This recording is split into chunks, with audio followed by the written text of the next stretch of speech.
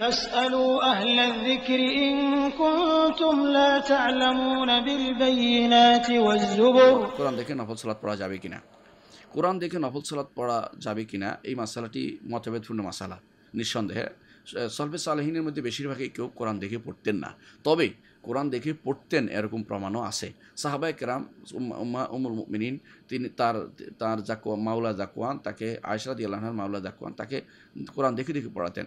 কোরআন, তিনি পিছনে ইমামতি তিনি ইমামতি করতেন আয়সরাদের পিছনে পড়তেন। তার- তারা ইমামতির পিছনেও সামনে দেখে কোরআন পড়তেন। এবং আজও মক্কা, মদিনা সহ বাদে, মক্কা, মদিনা বাদে অধিকাংশ জায়গাতে সৌদি আরবে দেখবেন যে তারা কোরআন দেখে পড়ছে। এবং এটাকে হাম্বলি মাঝাবে জায়েজ বলছে এবং এটা জায়েজেই মূলত। না জায়েজ নয়।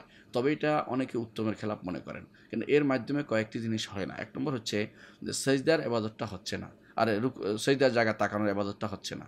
দ্বিতীয় জিনিস হচ্ছে হাতটা যখন বেঁধে ধরে রাখা হয়, তখন কিন্তু আপনার হাত বাঁধার এবাদতটা হচ্ছে না। তিন নম্বর হচ্ছে যে আপনি যখন বারবার উঠতেছেন আপনার কিন্তু মন আল্লাহ, কোরআন আয়াত এবং ইয়া থেকে দূরে সরে যাচ্ছে, সেটা হচ্ছে না। এই জন্য সুন্নার শরীর পরিপূর্ণ অনুস- অনুসরণ করা যাচ্ছে না। হ্যাঁ তারপরে হবে না, সালাত হবে না, এটা বলার কোনো সুযোগ নেই। বরং যতটুকু যদি আপনি অনেক সময় দেখা যায় যে এমন সময় থ্রি জি ফোর জিতে যেভাবে পড়ে মসজিদগুলোতে তার থেকে হাজার গুণ উত্তম হচ্ছে দেখে দেখে পড়া। সুন্দর করে একজনে এক পৃষ্ঠা করে পড়ল সালাতের মধ্যে। তার মন, অর্থ সহ বুঝে তাহলে এটা অবশ্যই উত্তম হবে এবং সুন্দর করে পড়তে পারলে সে পড়ে দেখে দেখে পড়ল। মুখস্থ দুদূর পারাটুকু পড়ল, এটা এটা উত্তম হবে। এই সমস্ত ফোর জি গতিতে বিশ গণা যে আমাদের টেন্ডেন্সি কাজ করে তা বিশ গণার টেন্ডেন্সি যতটুকু পারি পনেরো বিশ মিনিটে শেষ করে দেয়া। বিশ মনে হয় যেন একটা মাথার উপর বোঝা কেমনে শেষ করে তাড়াতাড়ি ঘুমোতে পারবে। এই জাতীয় জিনিস আসলে এবাদতের মূল যে সেন্স তার সাথে মিলে না। এগুলি হচ্ছে আমাদের ব্যক্তিগত দেন ধারণা এবং অধিকাংশই আমাদের যে একটা একটা অভ্যাস গড়ে উঠছে এবং অনেক সময় এটা একটা সামাজিক রীতিনীতিতে পরিণত হয়ে গেছে রিচুয়াল জিনিস হয়ে গেছে। এটা আসলে এবাদতের অন্তর্ভুক্ত আর নেই। রমজান মাস আসলে সলফে সাহিন কোরআন নিয়ে দাঁড়াতেন, কোরআন নিয়ে কোরআন পড়তেন, কোরআনে গবেষণা করতেন, কোরআন নিয়ে তাদের জীবন ছিল। আর আমরা কোরআনে করিমকে এইভাবে রাতের বেলা এত জোরে দ্রুত তিন আয়াত দ্রুত ছোট তিন আয়াত দিয়ে পড়েই শেষ করে দিচ্ছি। মনে হয় যেন এটা একটা কাজ হচ্ছে কেন এটা করতেছেন? আপনি সুন্দর করে পড়ুন। যার যতটুকু ক্ষমতা আছে, অতটুকু সে পড়বে। যদি কেউ খারাপ লাগে চলে যাবে যে, আমি বিশ পড়তে পারছি না, সমস্যা নেই, যতটুকু পারি পড়ছি।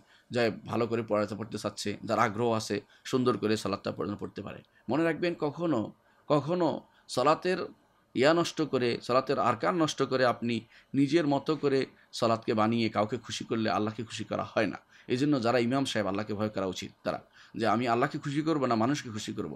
মানুষ তাড়াতাড়ি চায়, পনেরো মিনিট চায়, বারো মিনিট চায়, বিশ মিনিট চায়, কেউ হয়তো আরও কম চায়, দশ মিনিটে চায়, এগুলি কিন্তু মানুষের খুশি করলে আল্লাহ তালা খুশি করা যাবে না। এবং সেগুলি আবাদত নয়, এগুলি এক ধরনের খেলাধুলার মধ্যে পরিণত হচ্ছে। এই জন্য আপনি যদি কোনো মসজিদে মসজিদে সালাত আদায় করেন মসজিদে সালাত আদায় করেন, তাহলে অবশ্যই এমন ইমাম পিছনে পড়বেন যিনি সুন্দর করে কোরআন তেলাওয়াত করে আর যদি কোনো তিনি সেরকম তিনি সেরকম আল্লাহকে ভয় করেন, নিজের মন মতো করে কোরআন তেলাওয়াত করছেন, আপনি নিজে চেষ্টা করবেন নিজে নিজে পড়তে এবং সেটাকে তখন নিজে দেখে দেখে পড়বেন।